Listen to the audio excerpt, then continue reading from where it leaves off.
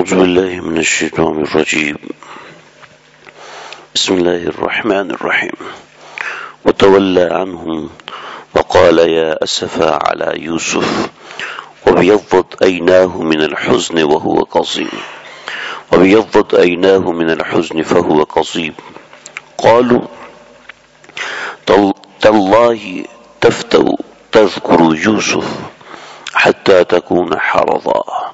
أو تكون من الحالكين، أو تكون من الهالكين. إلى آخره. سورہ یوسف کی آیت نمبر چوراسی ہے۔ اللہ رب العزت ارشاد فرما رہے ہیں۔ وَتَوَلَّا عَنْهُمْ۔ حضرت یعقوب علیہ السلام اپنے بچوں سے پھر گئے۔ اور وقال اور کہا، یا اسفا علی یوسف۔ ہائے یوسف یعنی یوسف کا افسوس ہے۔ اور یقت عیناہو اور ان کی آنکھیں سفید ہو گئیں۔ من الحزنی غم سے۔ فہو قظیم، اور وہ اپنے آپ کو تبا رہے تھے، ان کے اندر ہی اندر گھٹ رہے تھے۔ قالو کہا کہ تاللہ، اللہ کی قسم، ان کے بیٹوں نے کہا۔ اللہ کی قسم تفتو۔ تفتو کہ آپ آپ یوسف کی یاد میں خود کو ہلاک کر لیں گے۔ تفتو تذکرو یوسف کہ یوسف کا ذکر آپ اتنا زیادہ کریں گے یعنی یوسف کا ذکر نہیں چھوڑیں گے۔ تفتو کا مطلب ہے کسی چیز کو جاری رکھنا، کسی چیز کو چھوڑنا نہیں ہے۔ تو تفتو تذکرو یوسف یوسف کے ذکر کو آپ نہیں چھوڑیں گے، حتی تکون حرضن یہاں تک کہ آپ گھل جائیں، او تکون من الحالکین، یا ہلاک ہونے والوں میں سے ہو جائیں۔ قال، تو حضرت یعقوب نے جواب میں فرمایا، انما اشکو بسی و حسنی، میں اپنے رنج کو اور اپنے غم کو اس کی فریاد صرف کرتا ہوں اللہ اللہ کی طرف وَأَعْلَمُ مِنَ اللَّهِ اور میں اللہ کو جانتا ہوں زیادہ، ما لا تعلمون، جو کہ تم نہیں جانتے۔ ان آیات کا خلاصہ اور مفہوم ہے۔ وَتَوَلَّا عَنْهُمْ، کے اندر میں نے بات ذکر کی تھی کہ اس سے ایک مسئلہ سمجھ میں آیا، ایک طریقہ سمجھ میں آیا۔ مسئلہ تو نہیں کہہ سکتے، طریقہ کہ کہ جس سے غم پہنچا ہے، اس کے پاس سے ہٹ جائیں۔ جس پہ غصہ آ رہا ہے، اس کے پاس سے ہٹ جائیں، وہاں سے چلے جائیں۔ وقال یا اسف علی یوسف اور کہا کہ ہائے یوسف یعنی یوسف علیہ السلام کو یاد کر کے اپنے غم کا اظہار کیا، تو یہاں ذکر کیا تھا کہ طبعی غم کتنا بھی ہو، یہ عقلی غم کے مقابلے میں کوئی حیثیت نہیں رکھتا۔ عقلی طور پر، عقلی طور پہ جو غم ہوتا ہے یا عقلی طور پر جو خوشی ہوتی ہے یا عقلی طور پر جو محبت ہوتی ہے وہ اور ہوتی ہے اور طبعی طور پر محبت جو ہوتی ہے وہ اور ہوتی ہے۔ طبعی محبت تو اس سے کہتے ہیں کہ جیسے طبعی محبت جیسے بندے کو اپنی اولاد سے ہوتی ہے اور عقلی محبت وہ ہوتی ہے جیسے بندے کو محبت اپنے ایمان سے ہوتی ہے۔ جیسے بندے کو محبت رسول اللہ صلی اللہ علیہ وسلم سے ہوتی ہے، جیسے بندے کو محبت اللہ تعالیٰ سے ہوتی ہے۔ یہ جو محبت محبت ہوتی ہے، یہ عقلی ہوتی ہے۔ کسی کے کمال کی وجہ سے جو محبت ہوتی ہے، وہ عقلی ہوتی ہے اور کسی کے کسی کے جوڑ کی وجہ سے جو محبت ہوتی ہے، وہ طبعی ہوتی ہے۔ تو طبعی محبت کتنی بھی ہو، وہ عقلی محبت کے مقابلے میں زیادہ بڑی ہوئی نہیں ہوتی اور نہ ہی ہونی چاہیے۔ لیکن جب عقلی و طبعی محبت کا مقابلہ ہوتا ہے، تو عام طور پر سمجھدار لوگ جو ہے، وہ عقلی محبت کو غالب رکھتے ہیں طبعی محبت کو کو غلط سمجھتے ہیں طبعی محبت کو وہاں پر نہیں دیکھتے۔ جیسے بچہ اپنے ہاتھ میں چھری لے کے خود کو مارنے لگے، تو اب یہ جو محبت ہے بچے سے، یہ طبعی محبت اور عقلی محبت کا مقابلہ ہے۔ عقل کہہ رہی ہے کہ بچہ چھری خود کو مار لے گا، بچہ جتنا بھی روئے، اس سے چھری چھین لو۔ اور اور طبیعت کہتی ہے کہ بچے کو رونا نہیں چاہیے۔ اور بچے سے چھری کھینچیں گے تو بچہ رو پڑے گا۔ تو اب ہر سمجھدار آدمی سمجھتا ہے کہ اس موقع پر بچے کے ہاتھ پہ چھری نہیں ہونی چاہیے۔ اس موقع پر بچے کا کوئی نقصان نہیں ہونا چاہیے۔ اور بچہ بیمار ہے، اب وہ روتا ہے، دوائی نہیں پیتا، کڑوی دوائی ہے، میں پیوں گا، مجھے انجیکشن لگے گا، ڈرپ لگے گی، بچہ روتا ہے، لیکن ماں باپ کی عقل کہتی ہے کہ اگر یہ اس کو نہیں لگے گا تو یہ بیمار رہے گا اس کی بیماری بڑھے گی۔ تو ماں باپ روتے بھی ہیں، ڈاکٹر کے پاؤں بھی پکڑتے ہیں، کہتے ہیں کہ بھئی تم آپریشن کر دو، ٹائم نہیں ہے تو نکال کے کر دو۔ اور اور اتنے اتنے پیسے بھی ہم تمہیں دیں گے لیکن بچہ روتا ہے کہ میں میں نے اپنی انگلی نہیں کٹوانی، میں نے یہ نہیں کرانا، میں نے یہ نہیں کٹوانا، میں نے آپریشن تھیٹر میں نہیں جانا۔ بچہ روتا ہے لیکن ماں باپ کی عقلی محبت اولاد پر غالب ہوتی ہے اور طبعی محبت عام طور پہ دب جاتی ہے عقلی محبت سے۔ لہذا عقلی محبت اور طبعی محبت کا جب مقابلہ ہوتا ہے تو عام طور پہ عقلی محبت زیادہ ہوتی ہے اور ایسا ہی ہونا چاہیے، کوئی بے وقوف ہوگا جو عقلی محبت کو مغلوب کرے گا اور طبعی محبت کو غالب کرے۔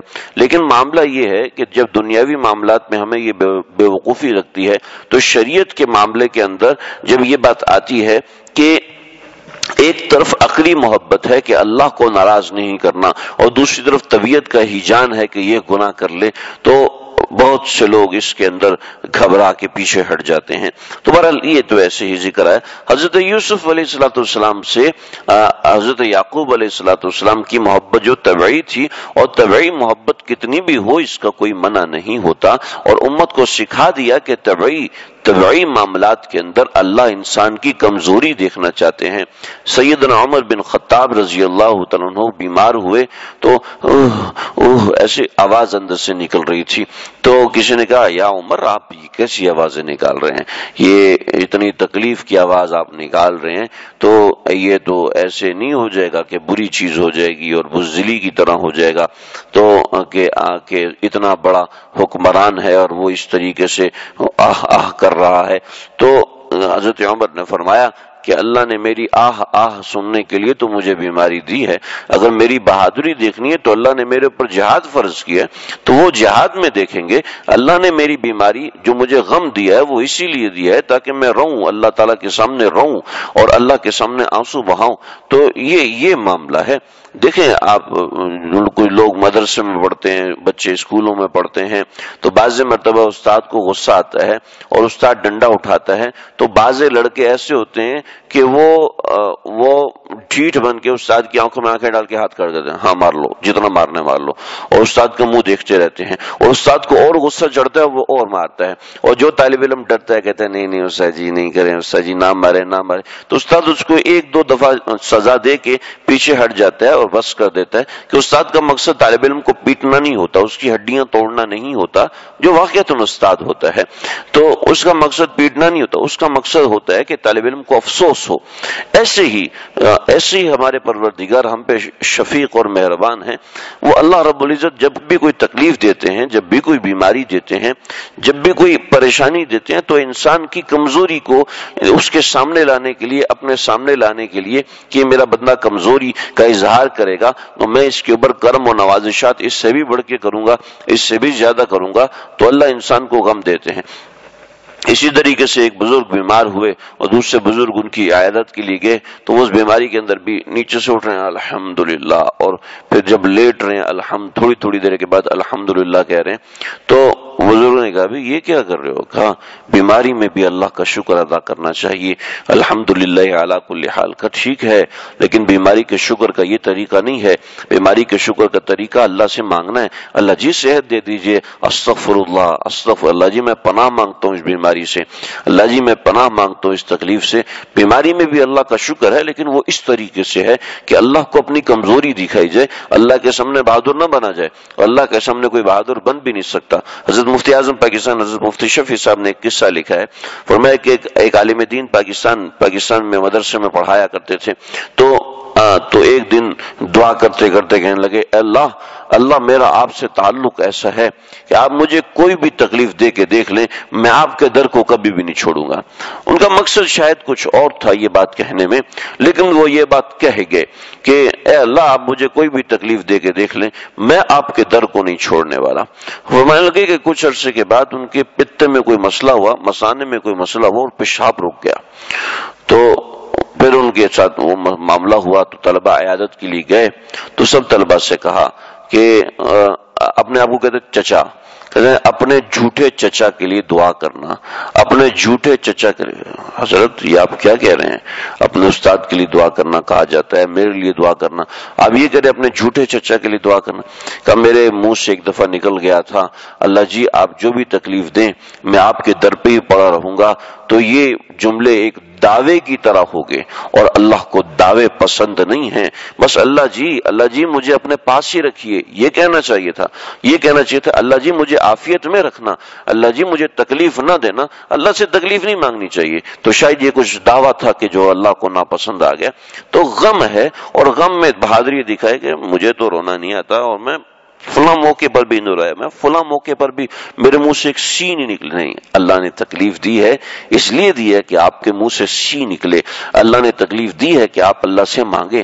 اللہ نے تکلیف دی ہے کہ ہم اللہ کے سامنے گڑ گڑائیں۔ اللہ کے سامنے روئیں۔ اللہ کے سامنے فریاد کریں۔ تکلیف اللہ نے اس لیے دی ہے۔ چنانچہ حضرت یعقوب علیہ السلاۃ والسلام کے اس عمل کے اندر حضرت یعقوب خالصتاً ملت ابراہیمی پر تھے اور حضرت یعقوب علیہ السلاۃ والسلام نے یہاں پر جو عمل کیا، یہ کوئی خلاف شریعت نہیں ہے اور کوئی شکوے اور شکایت والا نہیں ہے۔ قالت اللہ تفت اور اتنا روئے کہ ان کی آنکھیں بھی چلی گئیں۔ یعنی کہ اتنا زیادہ غم بھی ہو تو وہ خلاف شریعت نہیں ہے۔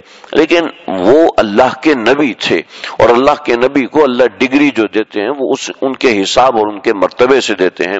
دیکھیں ایک ہارون رشید ہارون رشید نے ایک مرتبے ایک مرتبے روزہ توڑ دیا۔ تو اب روزہ جو جان بوجھ کے توڑا جاتا ہے، اس کے اس کے کفارے مختلف ہیں۔ ایک یہ ہے کہ غلام آزاد کر دیں۔ دوسرا یہ ہے، دوسرا یہ ہے کہ ساٹھ مسکینوں کو کھانا کھلا دیں۔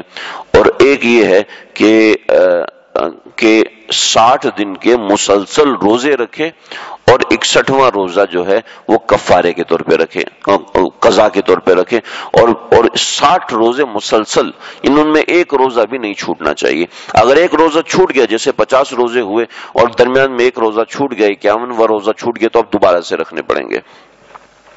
تو ہارون رشید پریشان ہو، اس نے علماء سے حضرت علماء آزاد کرتے ہیں۔ دوسرے علماء سے حضرت ساٹھ مسکینوں کو کھانا کھلا دیں۔ تو امام مالک رحمت اللہ علیہ یا ان کے کوئی شاگرد تھے، ان کو بلایا۔ اور اور ان سے کہا کہ ہاں آپ بتائیے کہ، غالباً امام ابو یوسف رحمت اللہ علیہ مالک نے کہا کہ آپ بتائیے کہ کیا معاملہ ہے، کیا کرنا ہے ہمیں؟ تو قاضی القضا وہ تھے، سب سے بڑے مفتی وہ تھے، حضرت امام ابو یوسف رحمت اللہ علیہ۔ تو فرمایا کہ نہ غلام آزاد کرنا جائز ہے آپ کے لیے اور نہ ہی نہ ہی ساٹھ مسکینوں کو کھانا کھلانا جائز ہے۔ حالانکہ حدیث میں ہے، آپ کے لیے صرف ایک ایک قضا ہے اور وہ یہ ہے کہ آپ ایک روزہ قضا کیجیے اور ساٹھ مسلسل روزے رکھیں۔ آپ یہ کیوں کہہ رہے ہیں؟ کہ یہ اس لیے کہ اللہ نے کفارے کو سزا کے طور پہ رکھا ہے۔ آپ ساٹھ مسکینوں کو کھانا کھلائیں گے، آپ کے پاس تو روزانہ چھ ہزار لوگ کھانا کھاتے ہیں۔ اور آپ تو روزانہ پچاس پچاس غلام آزاد کرتے ہیں، تیس تیس غلام آزاد کر دیتے ہیں، دو دو سو غلام بھی آزاد کر دیتے ہیں۔ آپ کے لیے کیا مسئلہ ہے؟ آپ کے لیے غلام آزاد کرنا تو کوئی مسئلہ ہی نہیں ہے۔ آپ تو غلام پرچی پہ لکھ کے پھینکتے ہیں جس کے ہاتھ پرچی چلی جائے، یہ یہ بیس غلام اس کے، یہ پچاس غلام اس کے۔ آپ تو اتنے غلاموں کو چھوڑتے ہیں۔ غلام آزاد کرنا یہ کوئی آپ کے لیے تکلیف نہیں ہے۔ اور ساٹھ مسکینوں کو کھانا کیا آپ؟ چھ ہزار کو کھانا کھلاتے ہیں، یہ بھی آپ کے لیے مسئلہ نہیں آپ کے لیے اگر تکلیف ہے تو وہ ساٹھ روزے رکھنے میں تکلیف ہے کہ کیوں آپ نے روزے میں بے اصولی کی؟ تاکہ آپ کو سمجھ آ جائے۔ تو کفارہ تو اللہ کی طرف سے سزا ہے۔ کفارے کو سزا کہتے ہیں۔ اور تو آپ کے لیے سزا تو یہ ہے، صرف یہ ہے۔ تو اللہ رب العزت نے جو انسان پر تکلیف ڈالتے ہیں، وہ اس لیے ڈالتے ہیں کہ وہ اس میں آہ آہ کرے، اللہ سے مانگے۔ اللہ کو بڑا برا لگتا ہوگا کہ جب کوئی بندہ تکلیف میں ہو اور تکلیف میں ہو ہو کر وہ دوسروں کے سامنے محتاج بنے، دوسروں کے سامنے ہاتھ پھیلا جی اتنے پیسے دے دو، اتنا یہ دے دو، اتنا وہ دے دو۔ ہاں اسباب اختیار کرنا منع نہیں ہے، لیکن سب سے پہلے اللہ سے رجوع کرے، سب سے پہلے اللہ سے مانگے۔ قالوا تالله تذك وبيضت عيناه من الحزن وهو قظيم اور ان کی آنکھیں غم کی وجہ سے سفید ہو گئی یعنی اندھی ہو گئی فہو قزیم لیکن اس کے باوجود وہ اس کو غم کو دبا رہے تھے۔ قالو اللہ تو کہنے لگے اللہ کی قسم تفتہ تذکر یوسف کہ تم یوسف کو یاد کرنا نہیں چھوڑو گے حتی تکون حرضا یہاں تک کہ تم گھل جاؤ او, او تکون من الحالکین یا تم ہلاک ہونے والوں میں سے ہو جاؤ۔ یا ہلاک ہو جاؤ یہ بھی اسی کے متعلق ہے۔ تو حضرت یعقوب علیہ السلام نے فرمایا انما اشکو بثی و حزنی اللہ میں اپنے رنج اور غم کو صرف اللہ کے سامنے فریاد کرتا ہوں۔ یا اشکو کا جو ترجمہ ہے وہ شکوے سے نہیں ہے، کیونکہ ایک نبی سے شکوے کا معنی نہیں کیا جا سکتا۔ دوسری یہ ہے کہ شکوہ اردو زبان کا لفظ ہے، عربی زبان کا لفظ نہیں ہے۔ عربی زبان میں شکوے کے لیے کوئی دوسرا لفظ استعمال ہوتا ہے۔ ان نما اشکو، نبی کریم صلی اللہ علیہ وسلم سے بھی لیے یہ الفاظ منقول ہیں جب آپ صلی اللہ علیہ وسلم طائف سے واپس آئے اور طائف والوں نے بہت برا سلوک کیا آپ صلی اللہ علیہ وسلم کے ساتھ۔ تو اللہم انی اشکو الیک ضعف قوتی وقلت حیلتی وحوانی علی الناس۔ اللہم انی اشکو ضعف قوتی۔ اے اللہ، میں اپنی قوت کی کمزوری کی فریاد آپ کے سامنے کرتا ہوں۔ تو یہ فریاد اشکو کا مطلب ہے روتے ہوئے دعا کرنا۔ یعنی کہ ایک ہوتا ہے کہ کسی سے مانگنا۔ بچہ بچہ کہتا ہے، امی ایک روپیہ دے دو، امی دس روپے دے دو، امی چاکلیٹ کھانی ہے۔ بچہ یہ کہتا ہے اور ایک بچہ فریاد کرتا ہے، مجھے یہ چیز چاہیے، مجھے اسکول نہیں جانا۔ بچہ فریاد کرتا ہے۔ تو فریاد کے اندر درد ہوتا ہے۔ فریاد کے پیچھے ایک پوری داستان ہوتی ہے۔ تو اس کے لیے لفظ اشکو کا اشکو کا لفظ استعمال استعمال ہوتا ہے عربی زبان میں، تو عربی یہ شکوے کا معنی نہیں ہے۔ ان نماشکو بسی و حزنی اللہ میں اللہ سے فریاد کرتا ہوں، تم سے کچھ نہیں کہتا کہ تمہیں اس کی پریشانی ہو۔ وہ عالم من اللہ اور میں زیادہ جانتا ہوں اللہ کے بارے میں مالا تعلمون، جو تم نہیں جانتے۔ ہمارے اکابرین میں چند اکابرین ایسے بھی گزرے ہیں جنہوں نے یہاں پر ذکر کیا ہے کہ حضرت یعقوب علیہ السلام کو شبہ ہو گیا تھا کہ وہ جو عزیز مصر ہے وہ میرا بیٹا یوسف ہی ہے، جس کا کرینہ اگلی آیت میں ہے۔ تو یہ ان کو شبہ ہو گیا تھا، کوئی اس میں تصریح نہیں کسی حدیث کے اندر، کسی روایت کے اندر، لیکن شبہ ہو گیا تھا جو کہ اگلی آیات سے سمجھ میں آ رہا ہے کہ ہو سکتا ہے، ایسا ہو اور ممکن ہے کہ یہ غلط نہ ہو، کیونکہ حضرت یوسف علیہ السلام کو کے بارے میں حضرت یعقوب کو شبہ ہوا اور ان کے بھائیوں کو بھی شبہ ہو گیا۔ دیکھیں، ایک ایک اس منظر میں چلے جائیں، اس منظر کے اندر جا کے دیکھیں کہ ایک بادشاہ ہے اور وہ بادشاہ سب لوگ ہزاروں لوگوں کو ڈیل کر، ہزاروں لوگوں کو سامان دے رہے ہیں۔ لیکن ہزاروں لوگوں میں سے ان کو یہ دس لوگ کس طریقے سے پکے، ٹھکے یاد ہیں کہ کہ وہ کہہ رہے تمہارے بھائی کو نہیں چھوڑنا اور بھائی کے ساتھ ایسا خصوصی معاملہ کرنا اور اس نوعیت کے حالات کرنا کہ ان کو اپنے کمروں میں ٹھہرانا، ان کو اپنے الگ رہائش کی جگہ دینا اور اگلی دفعہ بلانے کے لیے ہیلا اور بہانہ کرنا۔ تو یہ سمجھ میں آ رہا ہے کہ بھائیوں کو بھی کوئی نہ کوئی شک ہے کہ بادشاہ کا ہمارے ساتھ کوئی خاص تعلق ہے، کوئی خاص معاملہ ہے۔ تو اس سے کچھ کرینہ سمجھ میں آ رہا ہے، لیکن برحال اس کو ہم مراد تو لے سکتے ہیں، لیکن دلیل نہیں بنا سکتے یہ اس لیے کہ آیات میں کرینہ ہے، اشارہ ہو سکتا ہے، لیکن وہ کوئی دلیل نہیں بن سکتی۔ برحال اس کا ذکر انشاءاللہ آئندہ ہوگا۔ اللہ تعالیٰ سمجھنے کی اور عمل کرنے کی تو فرمائے۔